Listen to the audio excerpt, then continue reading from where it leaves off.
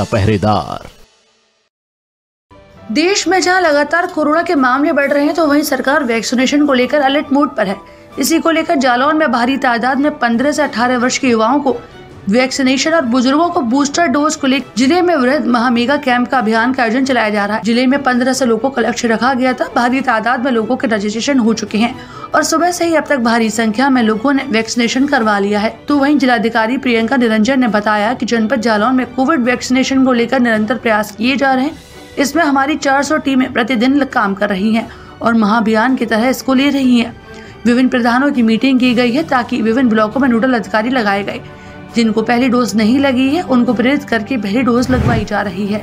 लगभग करीब युवाओं सब टोटल मिला मिलाकर पाँच छः सौ लगभग लग जाती हैं डेली सात सौ लगभग लग जाएगी। विवेकानंद की जयंती भी है आज। हम लोग सब लोग रेड क्रॉस सोसाइटी द्वारा सब लोग उसको मिल मना रहे हैं। ये हम लोग लक्ष्य डेली का अभी तक पाँच हज़ार वैक्सीन लग चुकी है। सात तारीख से बीस तारीख तक ये कैंप चलेगा भारतीय रेड क्रॉस सोसाइटी द्वारा। हमारी पूरी टीम है जो इसमें सहयोग कर रही है। अलीम भाई हैं तरतोलिया भाई भी हैं। काफ़ी लोग मेहनत लगन से ही लोग काम कर रहे हैं। और डीएम साहब का भी बहुत सहयोग है वैक्सीनेशन कैंप के लिए जो लगातार ये बीस तारीख तक चलेगा। अच्छा वैक्सीनेशन को लेकर लोग किस तरीके की हिस्सेदारी नहीं अब तो बढ़ चढ़ के ले रहे हैं जब से काफ़ी जो सरकार ने इसमें काफ़ी फोकस है इस पर कि चुनाव टाइम भी है हमारे बीच में कोई ऐसा हादसा ना हो इसलिए सभी लोग वैक्सीनेटेड रहे। तो बूस्टर डोज को लेकर किस तरीके की प्रक्रिया चल रही है? बूस्टर डोज बराबर कम कल से चालू हो गया था, बराबर लग रहे हैं। और जो जिनको लग चुके हैं अभी तक, वो जो वर्कर हैं हेल्थ वर्कर हैं, उनको प्राथमिकता दी जा रही, जो साठ साल से ऊपर है, उनको दी जा रही कि वो लोग लगवा लें जिससे सुरक्षित रहें। और जो फ्रंट लाइन वर्कर है, उनको लगाई जाएगी, जो सोशल वर्कर उनको लगेगी। टीचर्स है, जो चुनाव में ड्यूटी जो कर रहे हैं, जो भी जाएँगे, उनको भी लगेगी बूस्टर डोज। उनको इससे लाभ मिलेगा। जिलाधिकारी ने लोगों से अनुरोध करते हुए कहा कि जिन भी लोगों ने अभी तक पहली डोज नहीं लगवाई है वे लोग वैक्सीनेशन कैंप में जाकर पहली डोज लगवा लें और जिनकी दूसरी डोज रह गई है, वह लोग भी अपनी दूसरी डोज लगवा सकते हैं। इसके साथ ही फ्रंटलाइन वर्कर और हेल्थ वर्कर और 60 वर्ष से ऊपर जिनकी दूसरी डोज को 9 महीने हो चुके हैं, वह लोग बूस्टर डोज लगवा सकते हैं।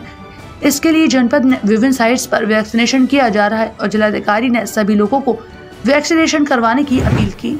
देखिए जनपद जालौन में कोविड वैक्सीनेशन को लेकर निरंतर प्रयास किए जा रहे हैं, इसमें हमारी 400 टीमें हमने लगभग प्रतिदिन हम लगा रहे हैं और महाअभियान की तरह इसको ले जा रहे हैं। विभिन्न प्रधानों की मीटिंग की गई है। विभिन्न ब्लॉक्स में क्लस्टर वाइज नोडल अधिकारी लगाए गए हैं, ताकि जिनको फ़र्स्ट डोज नहीं लगी है, उन्हें प्रेरित कर प्लस फ़र्स्ट डोज लगवाएँ और जिनकी सेकेंड डोज जो है, उनको सेकेंड डोज लगवाई जाए।